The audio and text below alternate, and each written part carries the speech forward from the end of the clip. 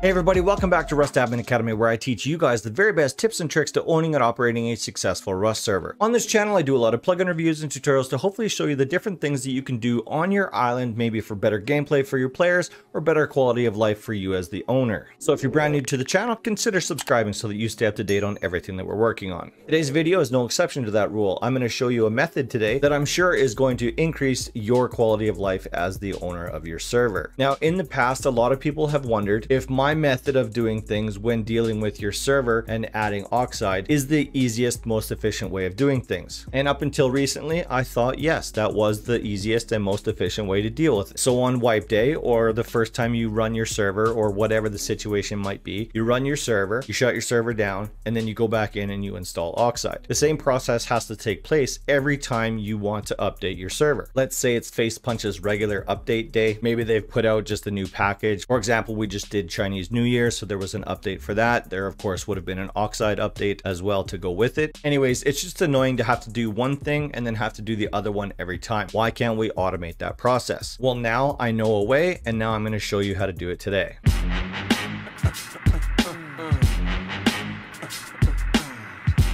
So how all of this came about is obviously in my comment section on my YouTube channel, plus in my Discord, I get a lot of questions about people wanting to automate their processes. And while I fully respect that, up until recently, there really was no way to do it, or at least there was no way that I knew how to do it. So I was telling my friend Dennis from icedhost.com about these people asking about how to do it. And he did what he does, and he just, you know, whipped something up in his head and he said, here, try this. So we went back and forth and we ended up coming up with a solution for it, or at least it was a solution that worked for him. When he he sent me the same solution. I couldn't get it to work on my own personal PC. I couldn't get it to work on my dedicated box. But we couldn't figure out a reason why it didn't work. So I'm going to introduce this method to you, showing you something that doesn't work on my own PC, but Dennis believes should work on everyone else's PC. We don't really know why yet, but that's where we're at. So if I show you this method and it works on your PC or your dedicated server, great, you're laughing. If for whatever reason it doesn't work, don't worry, I'm gonna show you a second method right after this one that I was able to make it work on my computer. So the first method that I'm going to show you today is just called the tar method. That's not its official name. That's just something that I came up with. In fact, I actually had to message Dennis and say, hey, can I call it the tar method? And he said, yeah, sure, that works. So now bear in mind, I know nothing about the internal workings of how Windows actually does things. So utilizing the tar command is a built-in command for Windows. What are the different applications for it? I have no idea. I just know how it's supposed to work in this application. So I'm going to show you how it all works.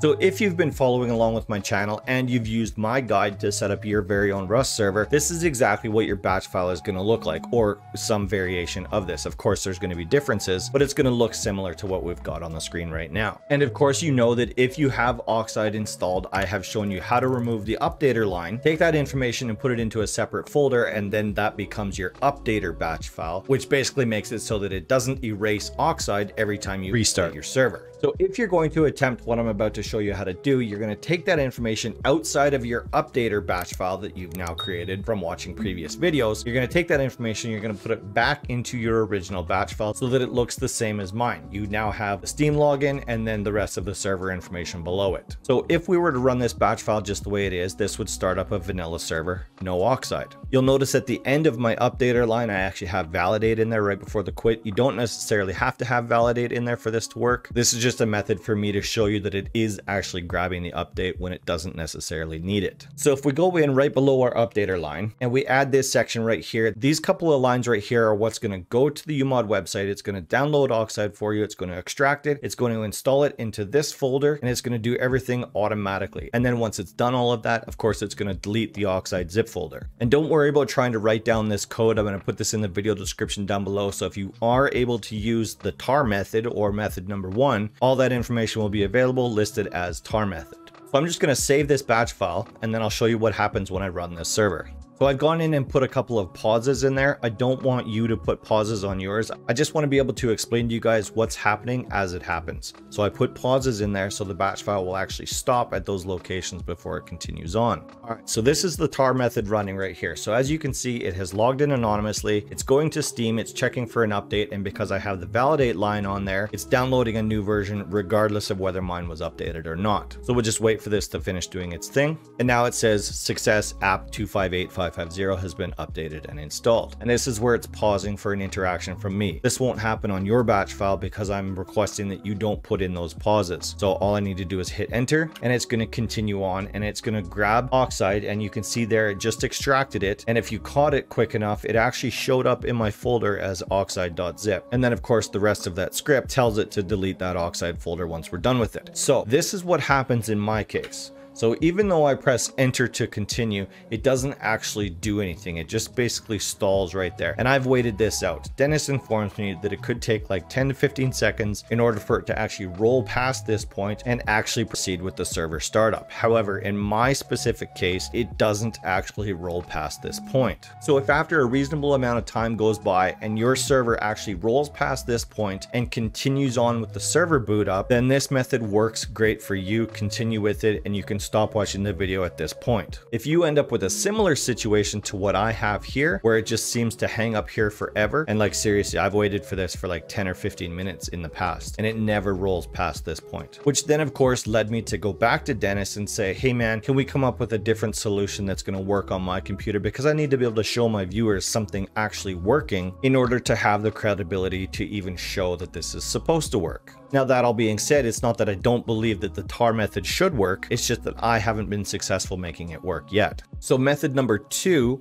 or the one that I've been able to make work on my own system, I call it the dependency method. Why do I call it the dependency method? Well, obviously because it has a dependency that is required in order to make it work. That dependency is unzip for Windows. Don't worry, I'm going to put a link to unzip for Windows in the video description down below in the description with the dependency method. So once you're on the unzip for Windows page, you just you want to download this file right here, the complete package except sources. Once you've got that downloaded, you're just going to run the installer and it's just going to be a very simple installation. Next, next, next next, done, done, done. And then that's all you need to do with that. And now we need to go back into our batch file and make the changes in there to reflect that we're now using unzip for Windows instead of using the tar method. So as long as you didn't change any of the default installation parameters when you were installing unzip for Windows, it's going to go into your program files x86 folder, etc, etc. This is what it's going to look like. So we're doing essentially the same thing. We're going to the umod website, we're downloading the file oxidemod.zip. Now the difference is happening right here. So now instead of using tar like we were before, now we're telling the batch file to call on unzip for Windows to unzip the folder that we've now downloaded from the umod website. And if everything goes as planned, you're going to see this all happening on screen anyways. And then of course, once it's done extracting everything, it's going to automatically delete that zip folder that we downloaded from the umod website. All right, so same as before, I'm going to put all of this script down in the video description down below. You don't have to try to remember this. You just need to remember where to put it. So we're going to put it right after the line that we log into Steam CMD and we run the update. So this right here is pretty much what a default batch file would look like or a batch file that you would end up with if you followed my videos to a T. This is exactly what it would look like right here. Then we just want to go in right after the update line and we want to insert that script in there. Once we're done all of that, we just need to save our batch file and then we can close that. We're done with it. Now we're going to run our batch file. Now, of course, I've gone back into my batch file and I've put a couple of pauses in there, so it won't automatically roll past all of the important information that I'm trying to show you. So if done correctly, yours is going to act a little bit different. It's not going to wait for any input from you. It's just going to roll past and do everything that we're telling it to do. All right, so let's run our dependent method right here. So as you can see, same as before, I've logged into Steam anonymously. I'm going and grabbing the update. And again, because I have that validate command on my batch file, it's installing an update even though it was already updated before. So now that our app is fully updated, we can press any key to continue. So now it's going to go and download the, see, even right there, it happened too fast. It went to the umod website, it downloaded oxidemod.zip, it unzipped it, it extracted all of the files into the folder where we wanted it to be. And now in my case, it's saying press any key to continue. In fact, let's have a look here. Let's have a look at the folder where the server is actually residing. So you can actually see this oxidemod.zip right here. That's the folder that our method automatically installed from the umod website. I didn't download that. So as soon as I hit enter on my batch file, it should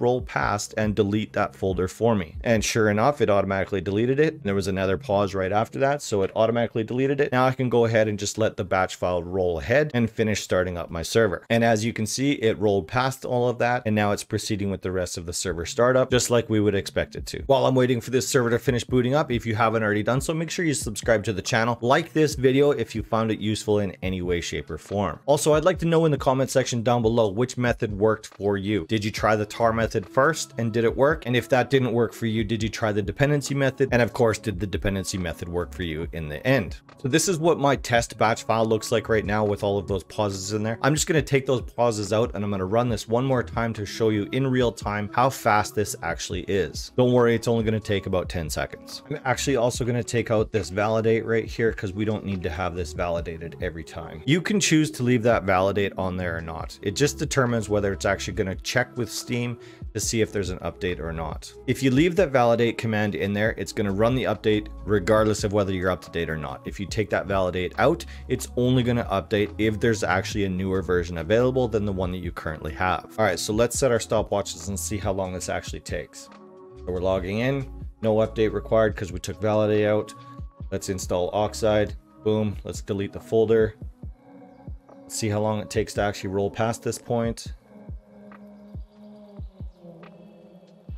And we're done. So within five seconds, it automatically rolled past that update point and is now continuing on with the rest of the server boot. All right, so like I said before, I'd really like to know which method works better for most people. Are you able to use the tar method or do you have to use the dependency method? Anybody that has set up a server using any of my previous videos should be installing this. This is something that so many people have been asking for for such a long time. I'm so happy that I'm finally able to come through and give you a solution. I didn't come up with this solution though. Dennis from IcedHost definitely created this for me. I just get to be the one that brings it to your attention. All right, guys, as always, if you found this video helpful in any way whatsoever, make sure you leave me a big thumbs up. And of course, if you haven't already done so, make sure you subscribe to the channel. I put out a brand new video every Friday at 5 p.m. Mountain Time. And low key, next week, I'm going to be putting out a video that is going to change so many people's lives. This is another feature on top of the automatic updating system that we've now done today. This is another feature that people have been asking me for for such a long time. For the longest time, there was no known way to do this, or at least not a way that people were willing to share. So up until now, I've been saying that what we're about to do next week has been impossible. And that's all I'm going to say about that for now. You guys have to wait till next Friday to see what the hell it is that I'm talking about. All right, that's it for me. Thank you guys so much for watching. I hope to see you guys again next week. Until then, make sure you're staying safe and taking care of each other. Thanks for watching. I'll see you guys next Friday.